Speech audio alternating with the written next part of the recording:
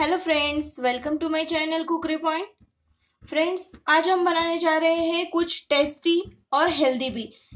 अक्सर टेस्टी चीज़ें जो है हेल्दी नहीं होती है, पर ये टेस्टी भी है हेल्दी भी है। सभी लोग इसे आराम से खा सकते हैं। आज हम बनाने जा रहे हैं चना चटपटी। हाँ फ्रेंड्स आप अगर कभी मुंबई गए होंगे तो वहाँ पर बीच पर ये चीज़ बेची जाती है और ये बहुत ही टेस्टी होती है और हेल्दी भी होती है। तो आज इसी हम घर पर बनाने जा रहे हैं। तो देखते हैं चना चटपटी के लिए लगने वाली सामग्री। सामग्री भी बिल्कुल कम है और वक्त भी कम लगता है। यहाँ पर हमने लिए हैं ये देसी चने। देसी चने छोटे साइज़ के हमने लिए हुए, बड़े साइज़ के हमने लिए हैं। छोटे वाले नहीं चलेंगे। उसे मैंने ओवरनाइट भिगा कर रखा, पूरी रात भर पानी में फूलने के लिए रख दिया। बाद में उसका पूरा पानी निकाल कर उसको एक बार धो के कुकर में चार से पाँच सीटियाँ लगाकर इसे पका लिया है। आप देख सकते हैं, ये बिल्कुल भी एकदम अच्छे से पक चुका है। इसके अलावा हमें चाहिए बारीक कटा हुआ टोमेटो, लाल मिर्च पाउडर, बारीक कटा हुआ प्याज। यहाँ पर हमने लिया है, हुआ है बारीक कटा हुआ हरा धनिया, एक नींबू का रस चाट मसाला, स्वादानुसार हम नमक का भी यूज़ करेंगे। इसके अलावा हमें चाहिए कुकिंग के लिए ऑयल जो कि हमने पहले से ही गैस पर रखा हुआ है समय बचाने के लिए। फटाफट से बता देते हैं कि इसे किस तरह से बनाना है। आप देख सकते हो, हमारा ऑयल अच्छे से गर्म हो गया है। हम फ्लेम को थोड़ा कम कर देंगे और हमारे जो चने हैं, उबले हुए चने, हम इसमें सारे ही डाल देंगे। मैंने चना एक कप भर के लिया हुआ था, उसे भिगोकर फिर उबाला है। इसे हम अच्छे से इस तरह से सौते कर लेंगे। बहुत ज़्यादा कड़क नहीं करना है, इसलिए फ्लेम को हमने अब इस वक्त बढ़ा दिया है और हम इसे सौते कर रहे हैं। जैसे ही हमारे चने उबल थोड़े से पकेंगे, गर्म हो जाएँगे, तुरंत हम इसमें नमक ऐड करेंगे। नमक आप अपने स्वादानुसार डाल सकते हो।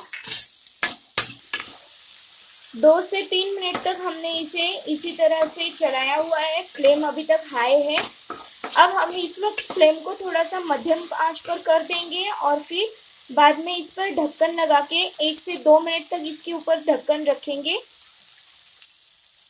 ये दो मिनट बाद थोड़ा सा जो है, चने का कलर थोड़ा चेंज हो गया है। इसका मतलब अब ये हो गया है और हमने जो नमक डाला था, वो नमक भी इसमें से, इसमें अच्छी तरह से घुल चुका होगा इस टाइम इस वक्त हम इसमें डालेंगे लाल मिर्च पाउडर। फ्लेम अभी भी मध्यम आँच पर ही हमने गैस को रखा हुआ है। इस तरह से।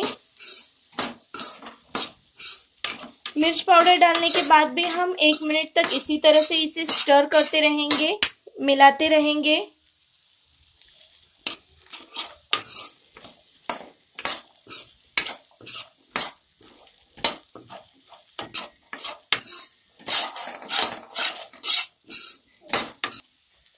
अब ये हमारा चना चटपटी बनाने के लिए एकदम रेडी है। हमने मिर्च डाल के भी एक मिनट तक हिला दिया है।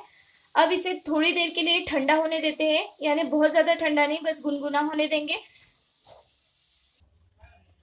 हमारा चना जो है, अब एकदम गुनगुना हो चुका है। इसमें हम फटाफट से हमारी सारी चीज़ें डाल देते हैं। पहले हम डालेंगे प्याज। ये हमने एक मध्यम आकार की प्याज ली हुई थी। एकदम बारीक बारीक इसे काट लिया है। बाद में हम इसमें डालेंगे टोमेटो। टोमेटो भी हमने बारीक बारीक काट लिया है एकदम। एक बड़े साइज़ का टोमेटो लिया है। छोटी कटोरी भरकर हरा धनिया आप अपने टेस्ट के अकॉर्डिंग डाल सकते हो। मैंने लाल मिर्च का इस्तेमाल आधी छोटी चम्मच किया था। अगर बच्चे खा रहे हैं तो आप कम या ज़्यादा अपने हिसाब से कर सकते हो। फिर इसके बाद हम इसे मिला देंगे अच्छी तरह से। पहले ये सारी चीज़ें हम अच्छे से मिक्स कर लेते हैं इसमें, ताकि सारी चीज़ों में नमक लग जाए बराबर से। अब हम इसमें डालेंगे एक छोटी चम्मच चाट मसाला। आप ज़्यादा डालना चाहते हो तो कोई बात नहीं। ये हम इसे अच्छी तरह से मिला देंगे। जितना ये टेम्प दिख रहा है अच्छा दिख रहा है, उतना ही ये टेस्टी भी होता है और हेल्दी भी होता है, क्योंकि ऑयल इसमें बहुत कम है और उबली हुई चीज़ें और स्प्राउट्स हमेशा ही अच्छे होते हैं। अब हम इसमें डालेंगे लेमन का जूस हम एक लेमन का जूस इसमें डालेंगे।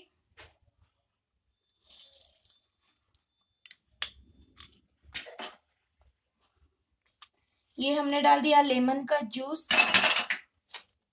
और लो फटाफट से बन गई हमारी चना चटपटी। आप इसे फटाफट से बना सकते हो, क्योंकि ज़्यादा वक्त नहीं लगता है। बहुत अच्छी महक इसकी आ रही है। बहुत टेस्टी लगता है ये। आप इसे एक बार ज़रूर बनाइए और सबको खिलाइए। करते हैं इसे डिश आउट और दिखाते हैं आपको। तो इस तरह से हमने इसे डिश आउट करके सजा लिया है। ये इसे आप ज़रूर बनाइए क्योंकि ये बहुत टेस्टी लगता है, बच्चों को भी बहुत पसंद आता है। आपको अगर हमारी ये रेसिपी पसंद आई हो तो इसे लाइक करें, शेयर करें। और आप अगर पहली बार हमारा चैनल देख रहे हो तो इसे सब्सक्राइब ज़रूर करें, बेल आइकन को दबाएँ ताकि आपको हमारे नए वीडियोस की जानकारी सबसे पहले मिले। थैंक्स फॉर वॉचिंग, मिलते हैं अगली डिश के साथ। बाय!